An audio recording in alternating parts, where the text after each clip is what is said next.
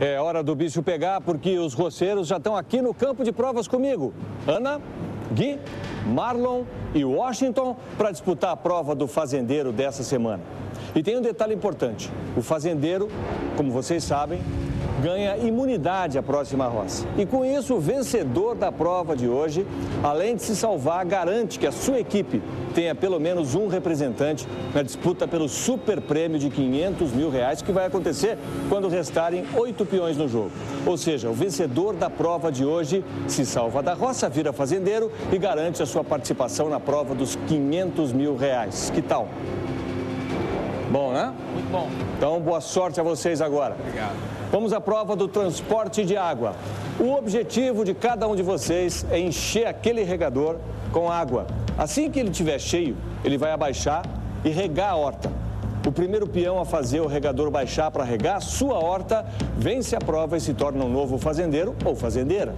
Para coletar água, vocês vão usar um balde. Depois vão se deslocar sentados em cima desse suporte aí, puxando a corda até chegar do outro lado. E por fim, despejam a água na canaleta que leva até o regador. Vocês vão fazer quantas viagens for preciso. Um detalhe: os baldes e as canaletas estão furados e por isso é preciso correr contra o tempo. O primeiro peão a conseguir baixar o regador para molhar a sua horta vence a prova, se salva da roça e vira fazendeiro. Os circuitos são idênticos e os peões já estão na posição que eles mesmos escolheram. Bom, gente, no meu sinal, vocês vão se sentar no suporte e aí podem começar a prova. Bem entendido? Então, atenção. Tá todo mundo pronto aí? Valendo o cargo de fazendeiro da semana. Valendo!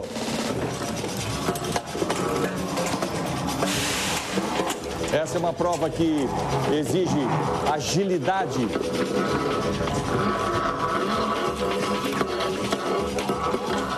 Eles têm que ter muita pressa para levar esse balde que está furado com o máximo de água possível até o outro lado, como acaba de fazer o Marlon, e despejar essa água na canaleta que leva até o regador. Na hora que esse regador estiver cheio, ele vai virar e vai automaticamente regar a horta de alface que está embaixo. Quem fizer isso primeiro vira o fazendeiro da semana.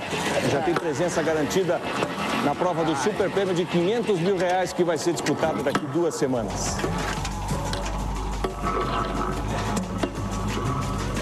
Vão ter que fazer muitas viagens para que isso aconteça. Tem que pegar água no poço e levar com o balde até a canaleta.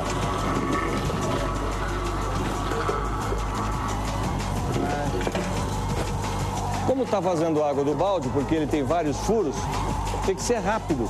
Rápida essa viagem pela corda, porque senão toda a água vai embora. E aí não tem muito o que despejar na canaleta, portanto, o regador não vai encher. Então tem que ter pressa, tem que ter agilidade. E tem que ter equilíbrio também.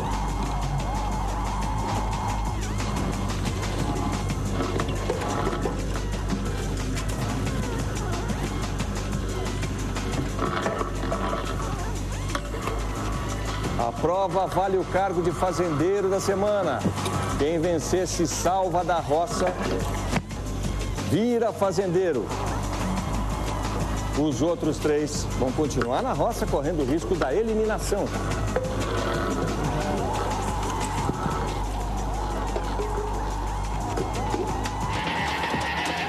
Nesse momento nós temos 10 peões no jogo aqui na fazenda. Depois que o próximo for eliminado, sobrarão nove. Na semana que vem, com outra eliminação, vão sobrar oito. E aí, então, será disputada a, super, a prova do super prêmio de 500 mil reais. E quem vencer essa prova de agora, além de fazendeiro, além de se livrar da roça, também estará garantido, a sua presença estará garantida na, na prova. O objetivo deles é fazer com que o regador fique cheio d'água e com o peso ele baixe, virando e regando a horta de alface. Até agora, nenhum regador se movimentou.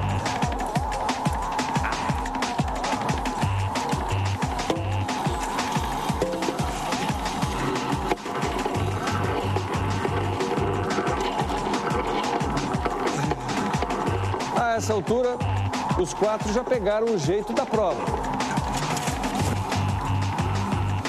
A qualquer momento, a água vai fazer com que aquele regador baixe e vire, regando o alface que está embaixo, a horta de alface. Quem fizer isso primeiro, vence a prova e se torna um fazendeiro.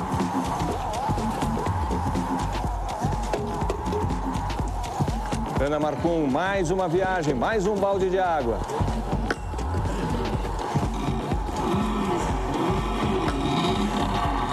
O Gui vem chegando na outra ponta. Mais água que vai ser colocada na canaleta.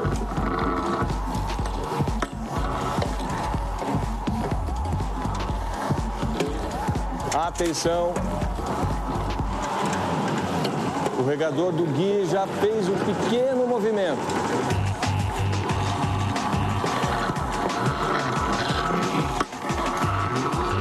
Mas ainda não foi o suficiente.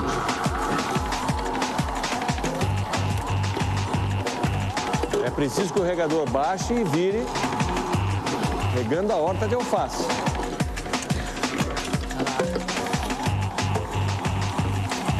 O Gui Pádua já está levando mais um balde de água.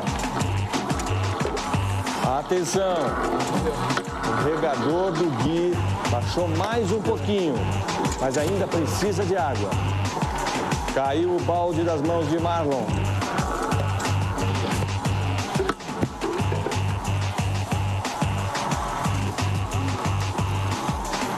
Todo mundo disputando muito nessa prova para ser o fazendeiro, vencer e ser o fazendeiro.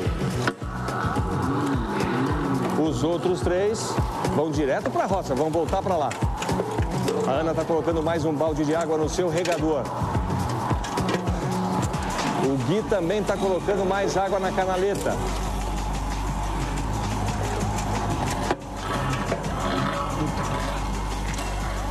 Tem que ter agilidade para trazer água dentro desse balde que está furado, porque quanto menos água trouxer, pior. Não vai fazer efeito nenhum. Mas se conseguir trazer bastante água desse balde, tem mais chance de fazer com que o regador abaixe.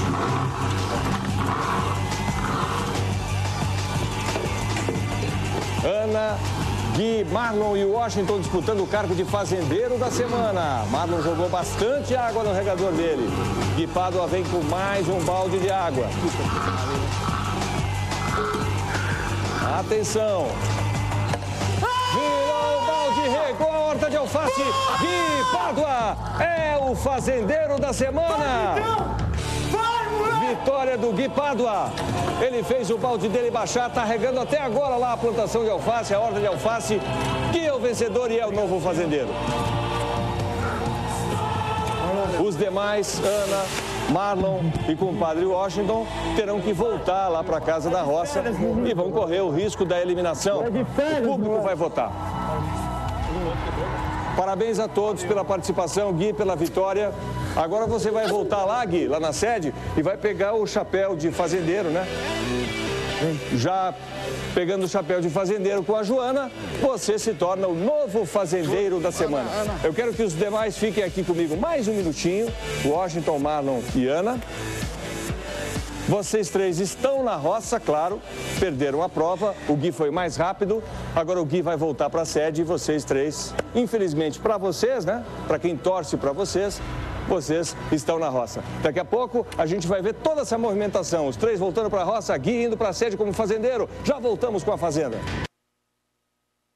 A gente está de volta com a Fazenda, programa ao vivo, prova do fazendeiro da semana, vencida por Gui Pádua. Ele venceu e agora está voltando lá para a sede para pegar o chapéu de fazendeiro com a Joana. A Joana, nesse momento, é a fazendeira, mas vai passar o chapéu para ele. E aí você vê descendo em direção à Casa da Roça o Marlon, o compadre Washington e a Ana Marcum, que perderam a prova e por isso vão continuar na roça. E quinta-feira, com o voto do público, um deles será eliminado dessa temporada. Aí está o Gui, falando sozinho, comemorando a vitória.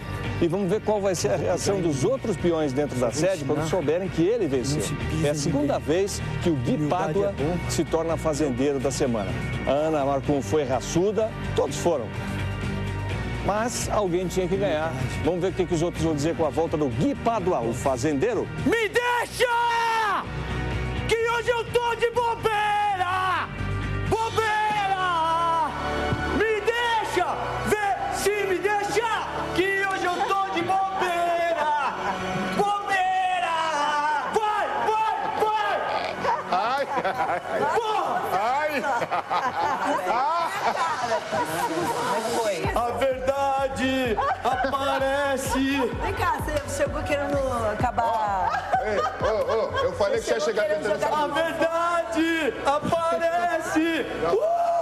Peraí, Eu como falei que você ia cantar essa música, Tá, tá, tá, tá, tá, tá, tá, tá, tá. Bazuca, aí. Eu falei que você ia cantar, me deixa.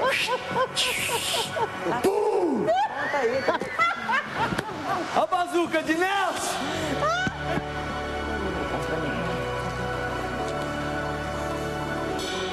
Me deixa, música. Como é que foi? Assim, ó. Ainda bem que eu não fui. Tinha tirakirk. Ainda, ainda bem que eu não fui. Tinha uma corda. Fala aí, cara. Como é que... Tinha um puleiro, você subia no puleiro, puleiro ligado num cabo de aço lá em cima, assim, uns 25 metros assim de comprimento. Você descia o puleiro assim, Ih, compadre, você cagou nas calças. não, não, com um balde pendurado. Tinha duas cadeirinhas, uma de cada lado. Você sentava na cadeirinha, com vários furos, então a água. Daí tinha um poço pra mim e pro Marlon, um poço pra Ana e pro compadre. Você descia dois metros você tinha que, e tinha uma corda pra você ir puxando, pra você poder atravessar sem botar o pé no chão, entendeu? No puleiro. Puleiro ligado por cima, de ferro, um ferro assim. Pádua Você sentava é aqui, a travava que nós mostramos ao vivo e que ele venceu a prova do transporte de água até o regador. E ele, merecidamente, é o fazendeiro porque venceu a prova. Agora vamos ver o clima lá na Casa da Roça com os perdedores, que um deles já sabe, né? Vai embora.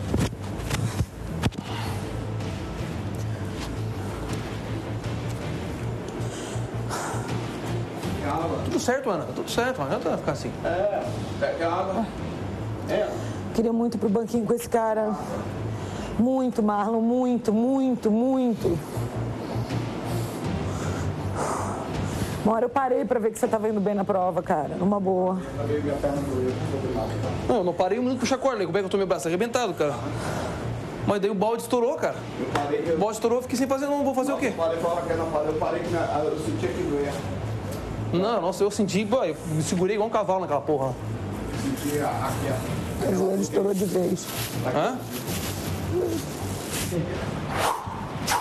E como é que os, os caras? Academia, malandro, Coração. segundo? Não teve segundo. Pá, acabou, parou o jogo. Mas, Mas quem, quem você acha chegou- que tava mais assim? nem de casa já sabe que um dos três roceiros vai sair do jogo na próxima quinta-feira com o seu voto. Guipado é o fazendeiro, se garante mais uma semana e a partir desse momento você de casa já pode começar a votar no peão que quer eliminar do jogo. Se você quer que a Ana ponha o pé na estrada, mande SMS para 77011 ou ligue 0303 10811. Se você quer que o Marlon deixe a disputa, mande SMS para 77012 ou ligue 0303 10812.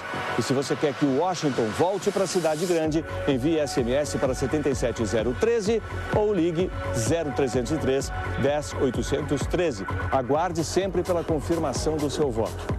Além de votar, você pode mandar suas perguntas para os roceiros através da nossa porteira de voz, ligando 0 operadora 11 80 80 3355. Vote também quantas vezes você quiser pelo r7.com. Lembrando que a votação é auditada pela BDO RCS Auditores Independentes. Como será que vai ser o mandato do Gui como fazendeiro Gui Pádua? Para descobrir, você não pode perder, claro, o programa de amanhã. A Fazenda vai começar logo após Vidas em Jogo. E para continuar vendo os nossos peões sem parar, entre no r7.com e acompanhe a Fazenda ao vivo, 24 horas por dia e de graça. O R7 tem tudo o que você quer saber sobre a Fazenda, além de fotos, vídeos, enquetes e notícias fresquinhas. Então, até amanhã. Tchau.